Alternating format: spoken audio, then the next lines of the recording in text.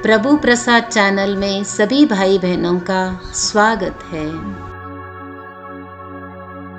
आज अदरक की चटनी बनाएँगे। अदरक की चटनी बनाने के लिए जो सामग्री चाहिए, पाव किलो अदरक को धो के ऐसा काट के लिया है।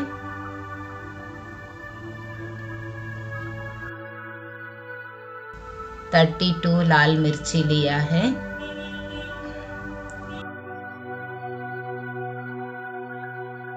पचास ग्राम इमली।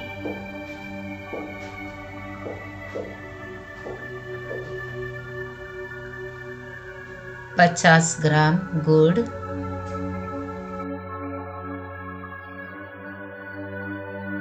पचास ग्राम ऑयल। स्वादानुसार नमक। राई मेथी का पाउडर दो स्पून। हिंग, कड़ी पत्ता, राई।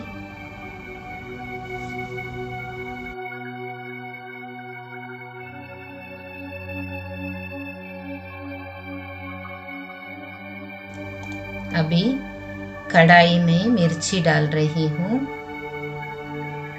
इसको भून लेंगे।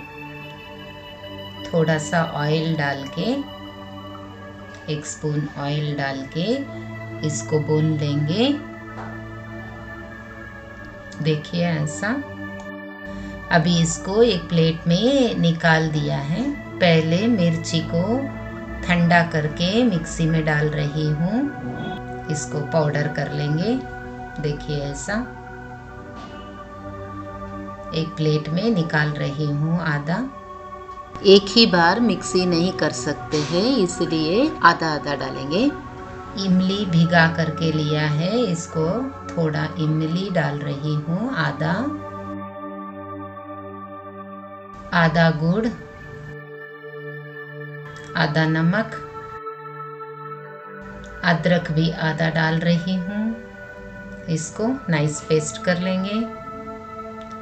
अभी इस कंडीशन में देखिए ऐसा नाइस पेस्ट करके एक बर्तन में निकाल रही हूँ।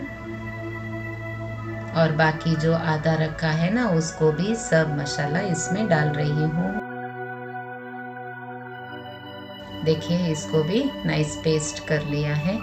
अभी एक मोटा वाला बर्तन हो या कुकर हो, उसमें ऑयल डाल रही हूँ। ऑयल गर्म होने के बाद राई, हिंग कड़ी पत्ता जो पेस्ट करके रखा था ना, वो इसमें डाल रही हूँ।